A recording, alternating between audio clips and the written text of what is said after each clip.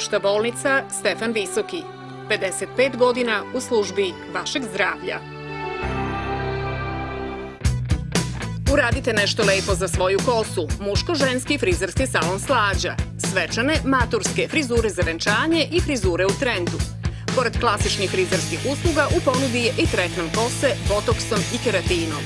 Kvalitet, znanje, ljubaznost u službi vaše i lepote vaše kose. Muško-ženski frizerski salon Slađa, tržni centar Nama.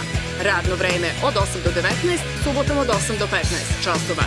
Telefon 064 320 56 55.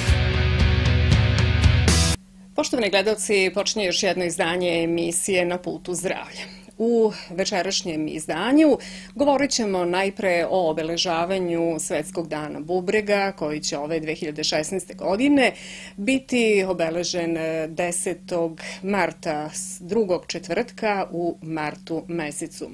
A u nastavku emisije vidjet ćete i aktuelnosti iz Palenačke gradske apoteke.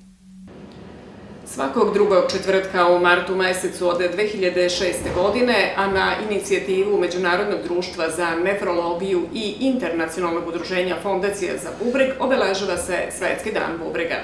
Cilj je da se podigne svest o važnosti bubrega, organa koji ima ključnu ulogu u održavanju života, ali i upoznavanje javnosti da su bolesti bubrega česte, opasne i izlečive. Zbog bolesti bubrega godišnje se svom izabranom lekaru javi veliki broj ljudi, a ono što hrabruje da je povećana svest o težini ovog oboljenja i o značaju pravovremenog i adekvatnog lečenja akutnog oštećenja bubrega o bolestima bubrega, ali i kod dece, s obzirom na to da je ovogodišnje obeležavanje posvećeno najmlađima. Danas u emisiji Na putu zdravlja razgovaramo sa doktorom Nikolom Ristićem, pedijatrom nefrologom u opštoj bolnici Stefan Visoki. Doktore, dobrodošli u emisiju Na putu zdravlja. Hvala, pozdravljam vas i vaše gledate. Osnovni zadatak bubrega je da ostrani otrove i suvišnu vodu iz naše krvi i pošelji ih u bešik u obliku urina ali neretko dešava se da bubrezi otkažu i tada nastaje problem. Pored odraslih i dece se suočavaju sa ovim zdravstvenim problemom. Pa evo za početak e, emisije da e, pojasnimo zapravo kako funkcionišu naši bubrezi.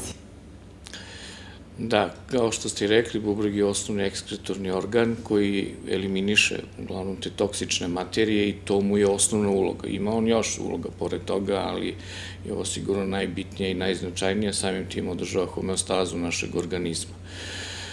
E, bubrezi e, u svakom minutu dobije određeni e, deo tog takozvanog volumena krvi koji više puta i u, u, u toku dana se, se prerađuje naravno i sve te toksične materije koje, za koje je zadužen bubreg, pre svega za ovaj, azotne materije, o, on izluče.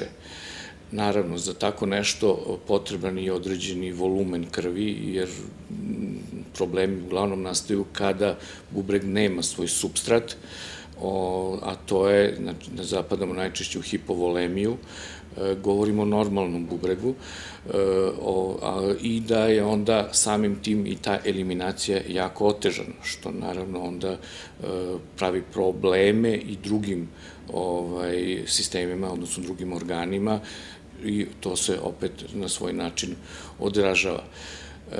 Kad je već oštećeni bubreg u pitanju, tu nastaju, e, tu je dodatni problem, jer ti bubrezi inače rade sa smanjenom funkcijom, odnosno smanjenim obimom i tu su potrebne, e, ajde da kažem tako, dodatne mere opreza od ishrane, eventualno korišćenja e, redovne i korišćenja terapije koja je ordinirana da bi taj bubreg u tako otežanim uslovima mogao da funkcioniše.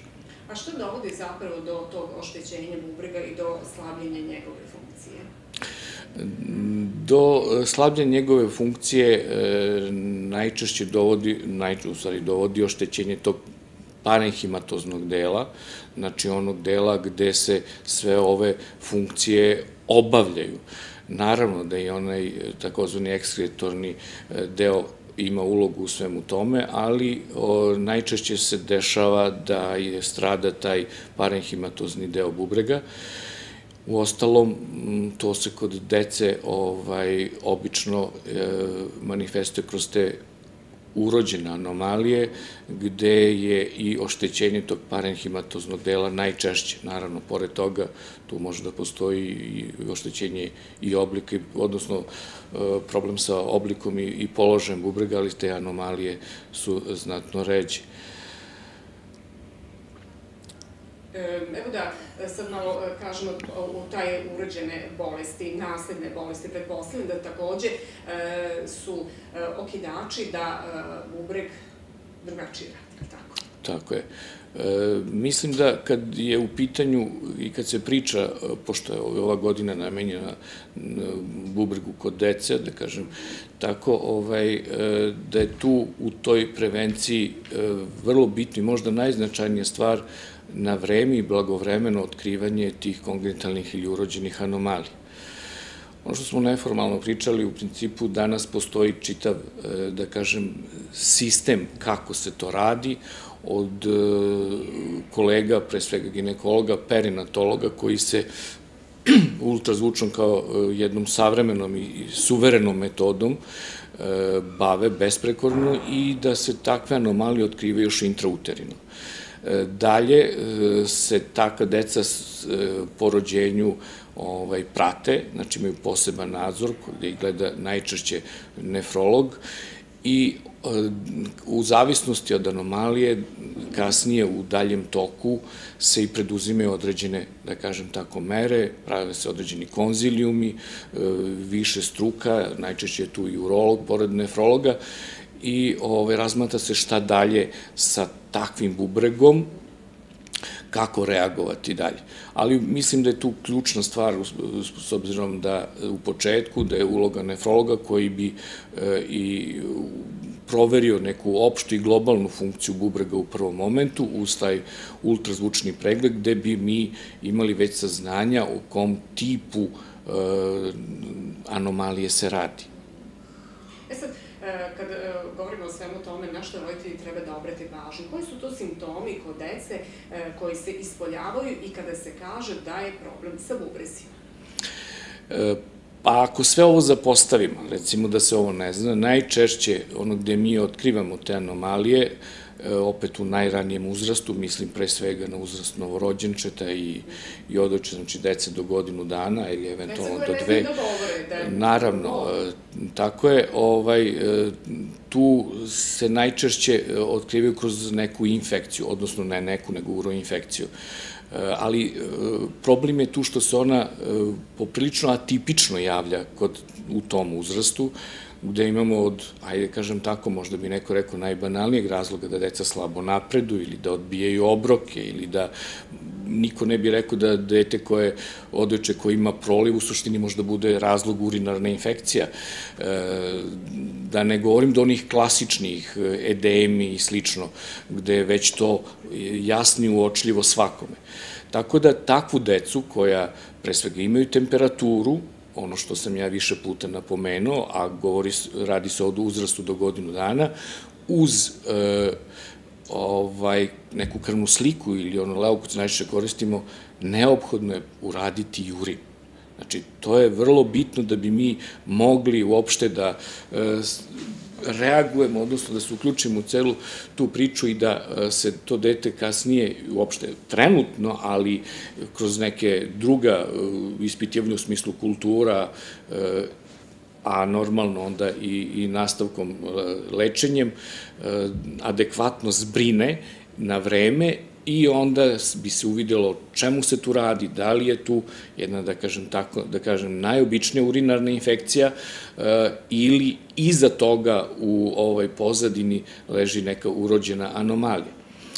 Uh, ima tu, da kažem, dosta stvari, ali ono najčešće što se mi e, dotičemo kad su urođene anomalije u pitanju i što nam, čega se uslovno rečeno tako plašimo su te e, takozvani taj e, vezikuretralni refluks. Recimo, deca se, e, smatra se da otprilike 10% novorođenčadi ima taj refluks na rođenju.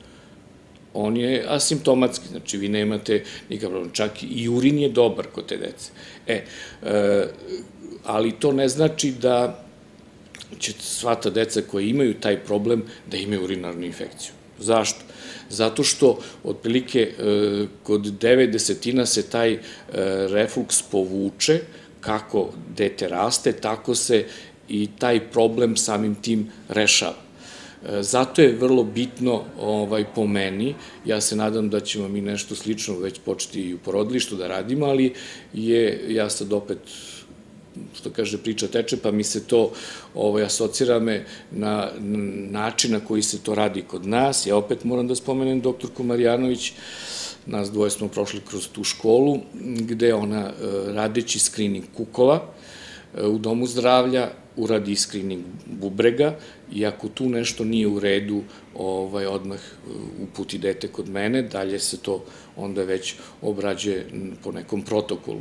Znači, takva saradnja samo može da donese uspeha i ja, evo, što to je više od 10 godina, e, neki nekih, kada kažem tako, krupnih anomalija nismo imali, ali ono što smo imali, to je sve rešavano. Pre svega mislim na te reflukse, a eventualno o njemu ćemo pričati i kasnije. Znači, 10% dece se rodi sa njim e, bez simptoma, znači nemamo simptome, urin je dobar, e, čekati kod takvog deteta da dođe urin, do urinarne infekcije, pa da onda mi to ustanovimo, ne mogu da kažem da je kasno, ali je mnogo bolja varijanta ova koju, se, koju mi sprovodimo sad. Dakle, na vreme otkriti anomaliju, koliko tako postoji, da bi tako se reagovalo na vreme. Ne samo kada su bubrezi nego bilo koje svakako, bolest, svakako. svakako, jer to može da se odražava na kasniju životnu dob, na probleme kod čoveka, odraslog čoveka. Naravno. E sad, pomenuli ste malo čas urinarne infekcije. E, pretpostavljamo, koliko su one češće tokom godine e, kod deteta? Da li to možda alarm da se e, nešto dežava ozbiljnije sa bubrezima?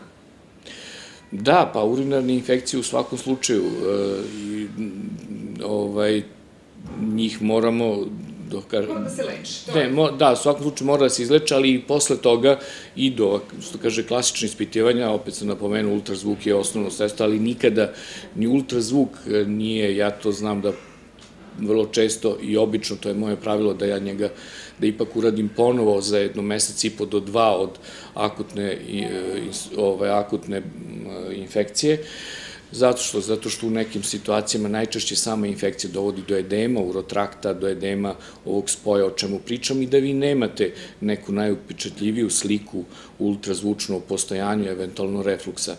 Uh, uroinfekcija sigurno nam je alarm, da mi trebamo da, da obratimo posebnu pažnju na to dete i da to ispitivanje koje treba uraditi po nekom protokolu uradimo do kraja Naravno, e, mi recimo kao jedan deo toga mikcijonu cistu ureterografiju nećemo da radimo kod svakog dete koji ima urinarnu infekciju. E pa zato tu mislim da neki položaj moj ima značaja, jer od možda 10 infekcija, možda će samo jedno dete od njih biti potrebno. Iako po protokolu to piše, da febrilne ovaj, e, febrilnu urinarnu infekciju do druge godine kao nastavak posle ultrazvuka je potrebno uraditi mikcijonu. Ali e, to nije uvek tako, to baš to piše u knjigama i mislim da je to dobro što, eto, trudimo se da maksimalno taj pro, pro, propuštanje dalje ka tercijarnoj ustanovi ima nekog e, da kažem tako rezona i da ovaj tu stvarno deca koja kod kojih to postoji. Inače sam taj refluks koji se pardon, graduira u pet stepena, ovaj, najčešće tog prvog i drugog stepena ovaj, prođe u samo neko praćenje i, i, i peros terapiju u malom dužem periodu. E sad, po od trećeg, pre svega mislim na četvrti i peti, to zaslužuje konzilijum u tercijarnoj ustanovi i, i neke druge ovaj, intervencije do same hiruške intervencije. E, Kad već pričamo o tome zašto je to bitno na vreme, zato što bubreg do pete godine infekcije bubrega mogu da prave problem. Problem u toliko jer se stvaraju ožiljci, ako se stvara ožiljak jedan, onda se lako nadovezuje drugi i treći, ali to e, onda e, samo po sebi nije problem prvih godina, već nakon decenije dve, taj ožiljak i sve više, kako bi to objasnio, skvrčava taj parenhim i aktivno tkivo bubrega i naravno bubreg u jednom momentu strada. Kad više se njegova funkcija izgubi, ono što sledi, a to je zamena bubrežne funkcije, zna se dijaliza ili transplantacija. E, to je vrlo bitno da u tih 5 do 7, ali prvo 5 godina mi prepoznamo na vreme urinarnu infekciju, e, promptno, što kaže, brzo je lečimo, sad su to te različite shvatanja od 24, najčešće se spominje 28 sati od početka urinarne infekcije, da već treba da krenemo sa terapijom e, i da to znatno smanjuje broj E, odnosno stvaranje ožiljaka, e, što je, kažem, najbitnije. Da se vratim, zašto je to bitno? To je bitno ne samo zato što e, u momentu kad bubreg totalno strada i do, već znamo da tad mora da se zamene bubrežna funkcija, nego vrlo često to pre, prođe nezapaženo, takve infekcije, naravno onda se i ne leče, ali onda e, imamo probleme kasnije, recimo prvi, jedan od perioda s kojima se susrećemo je generativno doba žene, gde onda takve trudnice imaju visok pritisak i onda idu ka nekom, ka proteinuri, jednom stanju koje se zove preeklampsija, eklampsija, gde jednostavno je i, i plod ugrožen i život te, te majke, odnosno porodilje. E, šta se desilo? Pa to se desilo tada To se dešavalo sve tada, a ovo su samo, da kažem, posledice. Evo, moram još samo nešto da pitam. Često su naši najmlađi e, izloženi e, respiratornim infekcijama gornjih disanih puteva. Tu su te i streptokokne infekcije. E, da li možda one uslovljavaju urinarne infekcije potom i da li opet to na neki način može da uslovi probleme i sa bubrezima i sa izlučivanjem urina i tako dalje? Pretpostavljam da radite takve ispitivanje kod dece koje imaju te probleme? Svakako, te infekcije mogu da dovedu i do, do da, infektivne upale bubrega, ali one mogu da dovedu i do drugih da kažem tako, bolesti bubrega kao što su i e, glomerulopatije, e, odnosno to su imunološke posledice.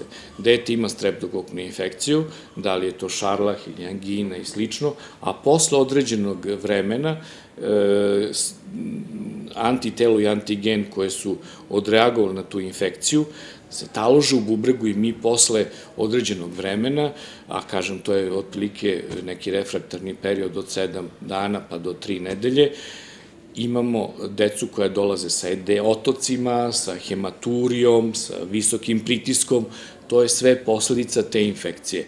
Znači, e, nije direktno da je bubreg upaljen time što je e, afekt, što je streptokok napao bubreg, nego je e, streptokok stvorio, odnosno organizam je reagovao na streptokoknu infekciju grla i najčešće, i, i taj kompleks se taloži u bubregu i on sa svoje strane onda dovodi do ove vrste bolesti, odnosno glomerulopatija. Na sreću, konkretno, to je e, najlakši oblik glomerulopatije i on je izlečiv, skoro u 100%.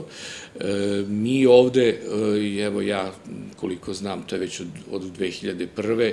nismo imali, ja sećam da smo, imali smo tada jedno 3 do 4 takvih slučajeva i mislim da od 2000, to je bio jedan dečko iz Male plane, poslednji do 2005. nismo imali takve slučajeva, što je dobro, naravno. Ali, kažem, to je najbezazleniji tip glomerulopatije i e, svakako da e, i te stvari, mislim, na respiratorne treba promptno lečiti. Mi vrlo često ovde imamo i decu koja ovaj, e, su primljena zbog takvih simptoma, i klinički znakova koji upućuju na respiratorne infekcije, ali proverom urina i kulture e, se vrlo brzo uvidi da je to mešana infekcija, da mi jednostavno imamo i, i urinarnu infekciju kao nešto što ide uz to, naravno onda se odreaguje terapijom i, kažem, daljim, po protokolu, daljim praćenjem.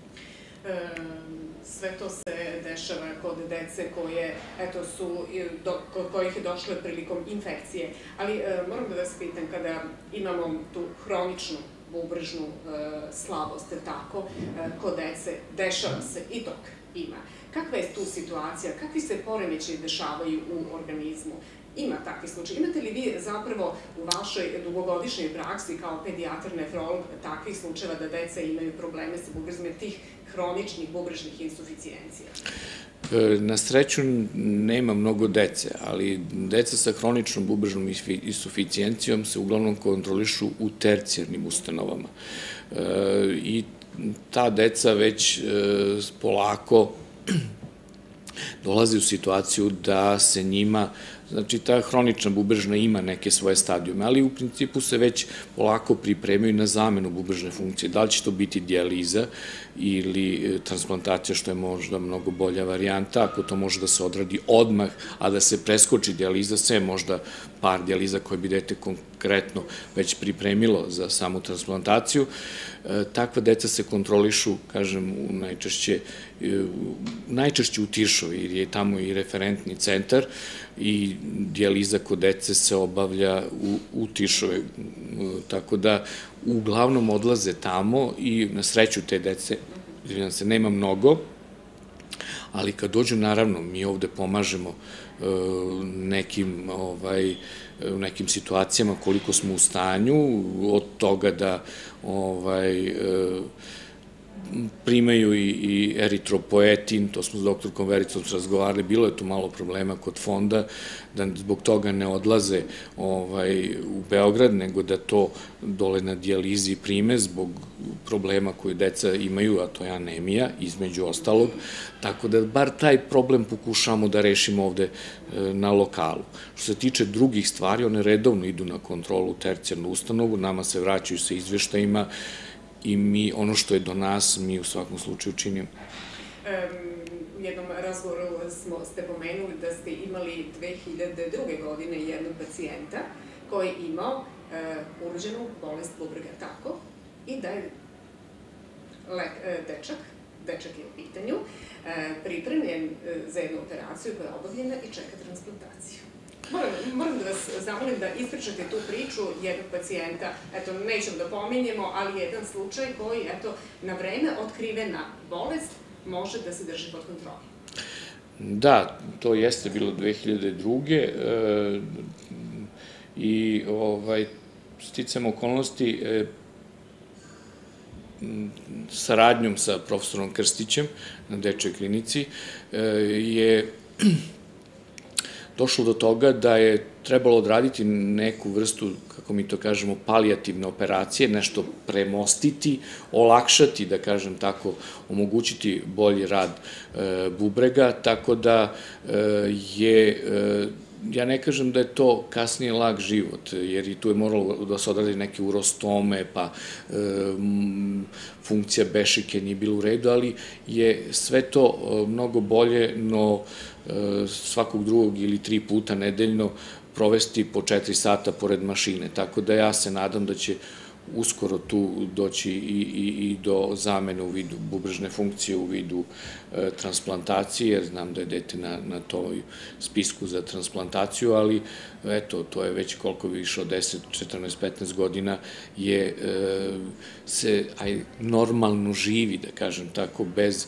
bez o, ovog vida e, terapije, to mislim da znači, to je prosto e, možda i nemoguće objasniti e, ljudima koji nisu u takvoj situaciji pod takvim vidom i načinom tretmana. Šta to znači provesti četiri sata pored mašine?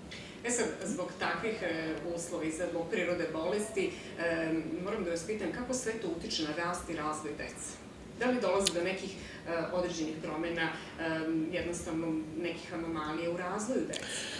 Pa svakako, čim, e, rekao sam, bubreg nije, nije mu jedina uloga da samo bude ekskretorni organ, bubreg homeostazu, bubreg je i endokrini organ, znači stvara ne, neke hormone koji su bitni isto tako za funkcionisanje organizma i neminovno e, utiče na sve sisteme organa, i na kardiovaskularni, i na koštani sistem, e, tako da se to reperkutuje i na rast i razvoj dece.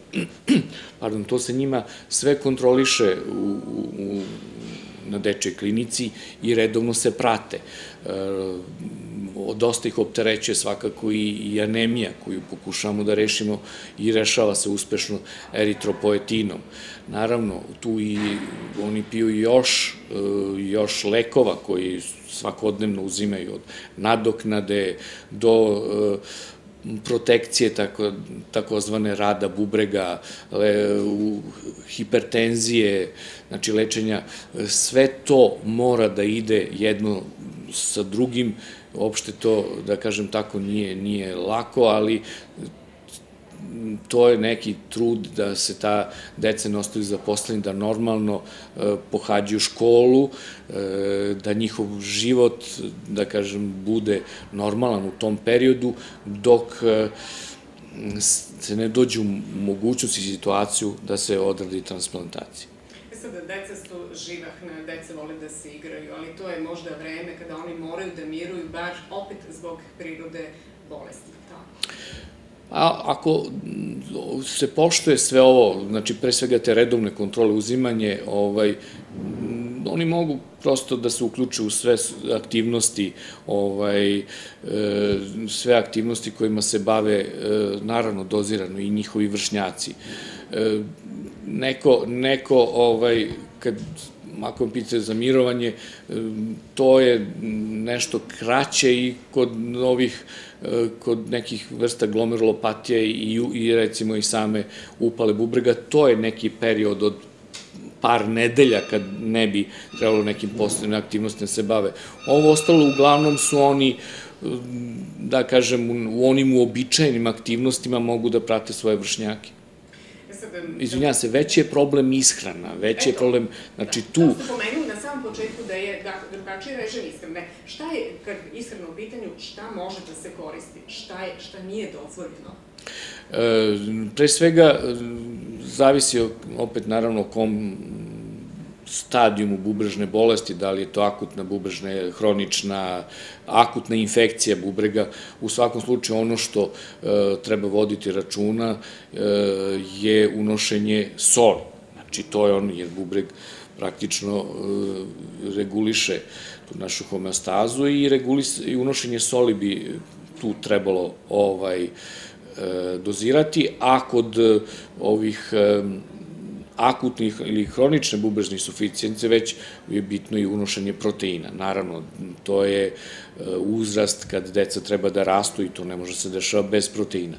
Ali e, onda njih treba unositi i uglavnom se e, u, u količini koja je dozvoljena i tu se ishrana više odnosi na ugljene hidrate i masti. Znači, taj deo treba povećati u ishrani, a ovo ide dozirano bez, sa vrlo malim ili čak bez, bez soli, znači dijeta jedno bez soli.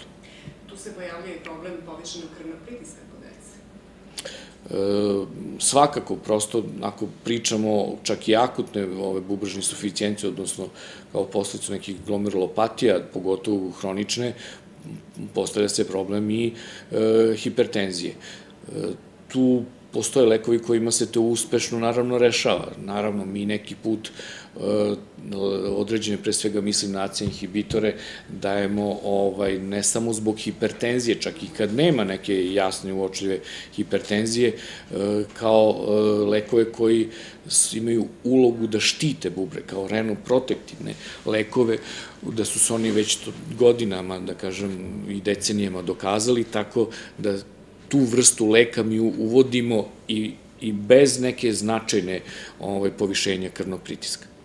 I evo još malo da kažemo nešto, pomenuli ste zapravo i dijaliza i transplantacija, obavljaju se u Beogradu u e, višim zdravstvenim ustanovama. E, ipak veliki broj dece čeka i na transplantaciju i e, izloženo je i mora da bude na dijalizi. E, recite nam, e, što se same transplantacije tiče, ko može biti e, davalac bubrega deci? Pa vi znate da je sad još uvek problem ove kadaverične transplantacije, odnosno kadaverična se davala, ali ovaj, koristila, ali najčešće u Tiršovoj se u početku razmatralo od bliskih srodnika, da budu davaoci, pre svega otac, majka, baka, deka, tako da se to i danas radi. Skoro sam ovaj pre par dana čuo da će biti transplantacije, da će baka biti donor nekom detu koje je na dijalizi u Tiršovoj. E, o, to je to. Najčešće ono što se radilo, kad, koliko znam, u, na dečoj klinici. A uglavnom poenta je i, i, i želja svih nas koji se ovim poslom bavimo da zaživi ta kadaverična transplantacija u mnogo većem broju. E, to bi bio spas za sve ove hronične bolesnike bubrežne, ali ne samo bubrežne. Znate da sad mnogo organa može da se transplantira i ja se nadam da će to i u jednom momentu i nekim zakonskim rešenjima da se reši. Jeste da je to ovaj, pravo svakoga, ali mislim da su to neki viši ciljevi i da ka tome trebamo da težimo ako već težimo za nekim savremenijim društvom i, i načinom života svakako i Svetski dan bubrega je i možda dan kada treba posjetiti na značaj doniranja organa, pa i ove godine e, dan je posvećen e, svakako deci, da eto možda se potpiše koja je donorska kartica više, ne samo u našem gradu, u Velikoj plani, već i u čitavoj zemlji. Svako, naravno. Mislim da to treba da, se kaže, razbijemo, da probamo, e, da razgovaramo o tome malo više i da se te neke zablude i predrasude razbiju konačno i da sagledamo svi ovaj, korist od toga, jer mislim da dovoljno da saslušate e, članove porodica takve dece koje su transplantirane i način na koje ovaj, ona žive u buduće, pa mislim, ne znam da li ima tu neš, nečeg lepšeg i, i svetijeg, što kažu. A ono što je zapravo zadatak vas pedijatara u e, svim zdravstvenim ustanovama, a kada govorimo o opštoj bolnici Stefan Visoki i o domu zdravlja, sa zapravo e, ustanovama e, koje su na teritoriji naših, naše opštine i opštine Velika Plana, je da se opet na vreme otkrije bolest, ovog puta bolest bubrega, i da se na vreme reaguje. Tako Svakako, to je, to je u suštini najbitnije. Spomenuli smo i onaj period još, da kažem, intrauternog rasta, pa nadalje e, što se ranije otkrije i što pre neko, e, da kažem, dete uđe u tu proceduru praćenja, lečenja je vrlo bitno. To, to je u suštini najvažnije. U ostalom, e, zašto, evo sad ćemo reći jedan podatak, mi sve vremeno e, u Tiršovi na dijalizi je bilo 48% podatka se sećam, znači 2002. dece koja su dijalizirala zbog urođenih anomalija. U Norveškoj je to bilo ispod 10%. Znači, mi tome trebamo da težimo, a da bi se to desilo, zato je prevencija e, i rano otkrivanje najbitnije. Doktore, hvala vam najviše za ovu priču o deci i bubrizima, a vama, poštovani gledalci, hvala što ste bili ovog puta sa nama, a narednog utorka, opet u susret Svetskom danu bubrega, govorimo o trudnoći i bubrizima. Evo, poštovani gledalci, ovo je bila priča o obeležavanju Svetskog dana bubrega, a sada, kao što sam na početku i najavila, slede aktuelne teme iz Palanačke gradske apoteke. U Palanačkoj gradskoj apoteci svakodnevno su na usluzi pacijentima, ali i svakodnevno se trude da ponude e, pacijentima e, veliki broj preparata brojnih farmaceutskih kuća. Tako će biti i ovog četvrtka. Da, u četvrtak 3. marta u periodu od 10 do 12 časova pre podne vršit će se promocija proizvoda Hemofarma. Oni su to akciju nazvali promocija zdravlja, idu po državnim apotekama širom Srbije i kod nas su zakazali 3. marta. Tako da pozivam pacijente bilo šta da ih interesuje, ako im treba neka informacija, obaveštenje, da mogu slobodno da dođu da pitaju, sve tu će biti kolegi iz Hemofarma, tu smo mi, eto. Kada govorimo o tim preparatima, šta je to ono što je e, karakteristično za ovu farmaceutsku kuću? Pa, evo, tu je i njihova paleta, to su lekovi protiv bolova, kafebol, uh, ibuprofen, midol od 300, midol od 100 koji se koristi za, za protiv zgrušavanja krvi, mi to kažemo za cirkulaciju volju, da, i onda od sirupa za decu, jagočevina, bokvica, beli slez, onda nešto od preparata koji se sad koriste u ovoj sezoni, respiratornih infekcija protiv kijevice temperature, sve u jednom preparatu, čuveni gripoštad u obliku kapsula, kesica koje se rastvaraju, pravi se topli napitak, I eto, to bi Nešto od magnezijuma, polivita, to je sve ono što oni preporučuju i mi naravno imamo razloga zašto preporučujemo. Ivana, moram da ispitam kakva je trenutna situacija sa snabdevenošću gradske apoteke, ima li možda nekih deficitarnih lekova? Ima, ima, nažalost, neke veletrgovine nisu ispunile svoje obećanje što se tiče centralnog snabdev, centralnog tendera, da li je problem samo do njih ili, u, ili na nivou uvoza. Mi imamo problem sa nekim lekovima, nije do nas, pacijenti znaju šta je to već nešto što već mesec, dva i više ne može da se nabavi, kao što je amitriptilin, končerta za decu. E, ima tako neki stvari koje su deficitarne i to nije do nas. Mi imamo ugovor sklopljen sa određenim veletrgovinama da nas nabdevaju određenim lekovi, mi samo od njih možemo da nabavimo to što ide na recept, ali je, mislim, problem na višem nivou. Da li postoji paralela koje može da se ponudi? Za neke lekove ne ono što postoji paralela, to nije problem uopšte za te lekove, a za one koje ne postoji mi smo nemoćni. E, evo malo čas ste pomenuli, ima dosta sirupa za ovaj period respiratornih infekcija. Tu je i vaše deljenje za izradu magistralnih lekova i tu su oni vaši dobro poznati mm -hmm. i preparati, sirupi, kapi i sve ono što se proizvodi. Da, sirup za smirenje suvo kašlja od belog sleza, sirup za iskršljavanje gorčevnih vokica sa vitaminom C, pokazali su se kao odlični sirupi, uh, mogu i mala deca da ih koriste bez problema, tako da ih mi preporučujemo uvek. Uh, od kapi za upalu, da pravimo sve ono što naši lekari preporučuju, kapi za oči su tu, od ovog našeg programa što mi radimo, ima sve što treba. I samo da kažemo, e, sve ovo može da se pronađe i u gradskoj apoteci, centralnoj i, I još u tri apoteke kod uh, fabrike Goša, naša apoteka u centru grada na parkingu i na koloniji. Samo da kažem, tu su i ambulante i, i vaše apoteke, u sebi. Apoteke, da, u svaku seosku ambulantu postoji naša stanica, rade pre podne od 7 do 2 ili od 8 do 3, zavisi da li je ambulanta radi u dve smene ili jedno, i snabdevene su sve kako pristupne. Kao što je i gradska da, centra. Da, kao i gradska sve, da.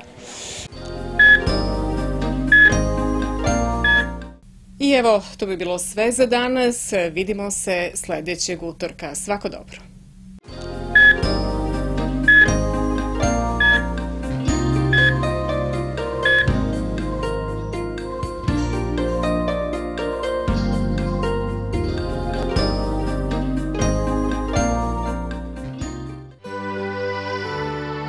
Opšta bolnica Stefan Visoki.